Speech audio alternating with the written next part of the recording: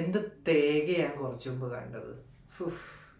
എനിക്ക് സത്യം തന്നെ എനിക്ക് ആങ്കറി റിവ്യൂ ചെയ്യണമെന്ന് എനിക്ക് ഭയങ്കര തന്നെ ആഗ്രഹമുണ്ട്. പക്ഷെ ഈ ഒരു പടം ആങ്കറി റിവ്യൂ പോലും ഡിസർവ് ചെയ്യാത്തൊരു ഫിലിം തന്നെയാണ്.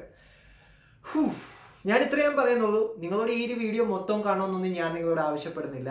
പിന്നെ കാണണമെങ്കിൽ നിങ്ങൾക്ക് കാണാം. കാരണം ഫിലിമിനെ കുറിച്ച് എനിക്ക് ആദ്യമേ ഞാൻ ഇത്രയാണ് നിങ്ങളോട് പറയുന്നുള്ളൂ. ഇറ്റ്സ് ഗാർബേജ് ഓക്കെ എല്ലാവർക്കും വെക്സ് എന്റർടൈൻമെന്റിലേക്ക് ഒരിക്കൽ കൂടി സ്വാഗതം. എന്റെ പേര് Harikrishnan. So let's get start our review for the fucking home alone home sweet home alone home sweet home alone എന്റെ പൊന്നോ എന്തൊരു സ്വീറ്റ് ആയിട്ടുള്ള ഒരു ടൈറ്റിൽ അല്ലേ? ഹൂ. അത്രത്തോളം സ്വീറ്റ്നെസ് ആണ് നമുക്ക് ഈ ഒരു പടത്തിനകത്ത് ആദ്യം പോലെ അവസാനം വരെ നമുക്ക് കാണാനും സാധിച്ചുള്ളത് ആദ്യമേ ഞാൻ ഒരു കാര്യം ഞാൻ നിങ്ങളോട് പറയുന്നത് actually current Disney plus available ആണ്. ഒന്നും പോരാത്തതിന് മലയാളത്തിലും കൂടി അവൈലബിൾ ആണ്. നിങ്ങൾക്ക് കാണാൻ കുറച്ചും കൂടി നല്ലൊരു എക്സ്പീരിയൻസ് വേണമെങ്കിൽ മലയാളത്തിൽ കാണുന്ന എനിക്ക് പറയാൻ പറ്റുള്ളൂ. കാരണം അത്രയും ദുരന്തമായിട്ടുള്ളൊരു മലയാളം ഡബിങ് കൂടിയാണ് ഈ ഒരു പടത്തിനകത്ത് എനിക്ക് ഫീൽ ചെയ്തത്. സോ അത് ഞാൻ ആദ്യം ഞാൻ അങ്ങോട്ടേക്ക് പറയാം. പിന്നെ ഈ ഒരു പടത്തിനെ കുറിച്ച് പറയുകയാണെങ്കിൽ നമ്മുടെ ഒറിജിനൽ നയന്റീൻ നയന്റീസിനകത്ത് ഉണ്ടായിരുന്ന ക്ലാസിക് ആയിട്ടുള്ള ഹോമലോൺ നമ്മൾ ഓരോരുത്തരും കണ്ടിട്ടുണ്ടെന്നാണ് ഞാൻ പ്രതീക്ഷിക്കുന്നത്.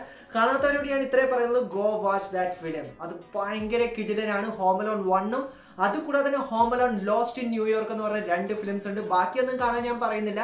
ഈ രണ്ട് ഫിലിംസ് മസ്റ്റ് വാച്ച് തന്നെയാണ്. കാരണം അത്രയും കിഡിലൻ തന്നെയാണ് അതിനകത്ത് ആക്ച്വലി നമുക്ക് കാണാനും സാധിച്ചുള്ള ഐ മിസ് കെവിൻ എന്നല്ലാതെ വേറൊന്നും എനിക്ക് പറയാൻ സാധിക്കുന്നില്ല. സോ ആ ഒരു ഫിലിമിന്റെ ഒരു ടോട്ടൽ ഫ്രാഞ്ചൈസ് റീബൂട്ടാണ് ഈ ഒരു ഹോം സ്വീറ്റ് ഹോം അലോണിൽ കൂടി ഡിസ്നി ചെയ്യാൻ ശ്രമിച്ചിട്ടുള്ളത്. ഫിലിമിന്റെ കഥയെക്കുറിച്ച് ഞാൻ കൂടുതൽ കാര്യങ്ങൾ പറയണമെന്ന് എനിക്ക് തോന്നുന്നില്ല. പടത്തിന്റെ പേര് പോലെ തന്നെയാണ് ഫിലിമിന്റെ കഥയും നമുക്ക് കാണാൻ സാധിച്ചിട്ടുള്ളത്. കാരണം ഞാൻ ഒബ്വിയസ്ലി ഞാൻ നേരത്തെ പറഞ്ഞിട്ടുണ്ടായിരുന്നു ഇത് നമ്മുടെ ഒറിജിനൽ ഹോം അലോൺ ഫിലിമിന്റെ നേരെ ഒരു റീബൂട്ടും ഒരു രീതിയിലുള്ള റീമേക്കും ആണ് അവർ ആക്ച്വലി ഇതിനകത്ത് ചെയ്തിട്ടുള്ളത്. അതുകൊണ്ട് തന്നെ നയന്റീസിലെ ഫിലിമിനകത്ത് ഉണ്ടായിരുന്ന അതേ സ്ക്രിപ്റ്റ് തന്നെ അവർ ട്വന്റി ട്വന്റി വണ്ണിലേക്ക് ആക്കിക്കഴിഞ്ഞാൽ എന്ത് സംഭവിക്കും? അതേ സെയിം കാര്യം തന്നെയാണ് നമുക്ക് ഈ ഒരു പടത്തിൽ കാണാൻ സാധിക്കുന്നത്. അതായത് ഈ ഒരു കുട്ടി വീട്ടിൽ ഒറ്റയ്ക്കാണ്.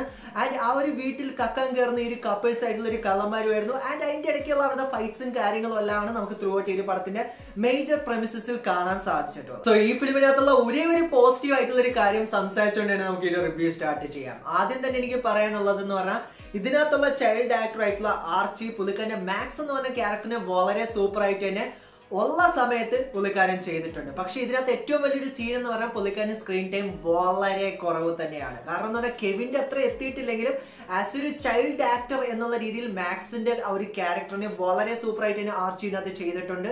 പക്ഷേ പുള്ളിക്കാരൻ ഈ ഒരു പടത്തിനകത്ത് ആദ്യമേ ഇല്ല.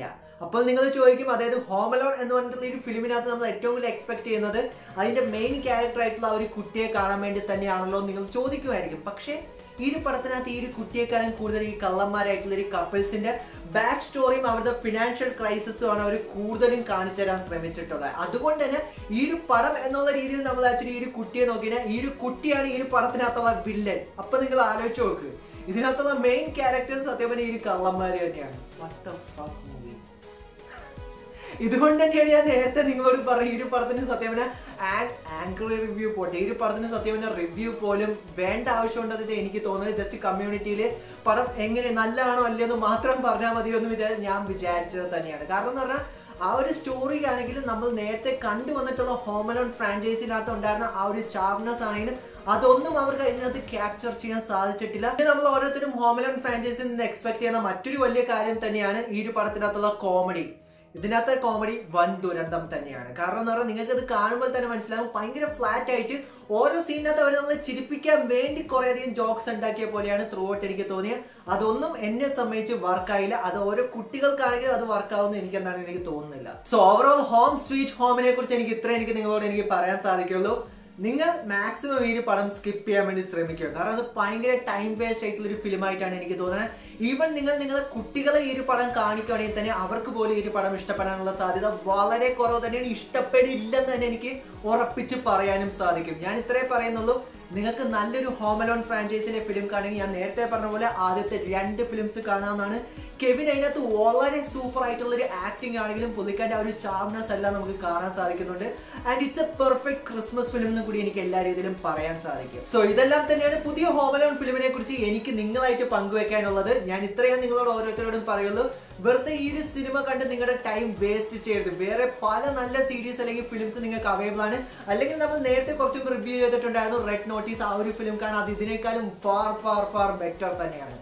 സോ ഇത്രയും കാര്യങ്ങളാണ് എനിക്ക് ആക്ച്വലി ഹോം അലോണെ കുറിച്ച് ഓവറോൾ എനിക്ക് പറയാനുള്ളത്. അതുകൊണ്ട് തന്നെ നമ്മുടെ conclusion score it's absolutely with bad so നിങ്ങൾ ഒറിജിനൽ ഹോം അലോൺ ഫ്രാഞ്ചൈസി കണ്ടിട്ടുണ്ടോ? നിങ്ങൾക്ക് അതിനകത്തുണ്ടായിരുന്ന ഏറ്റവും ഫേവറേറ്റ് ഹോം അലോൺ ഫിലിംസ് ഏതാന്നുള്ള കാര്യങ്ങളെല്ലാം താഴെ കമന്റ് ബോക്സിൽ കമന്റ് ചെയ്യാവുന്നതാണ് എന്റെ personal favourite lost in New York തന്നെയാണ്. So once again thank you so much for watching this video guys നിങ്ങൾക്ക് ഈ വീഡിയോ ഇഷ്ടപ്പെട്ടാൽ ലൈക്കും ഷെയറും ചെയ്യാവുന്നതാണ്.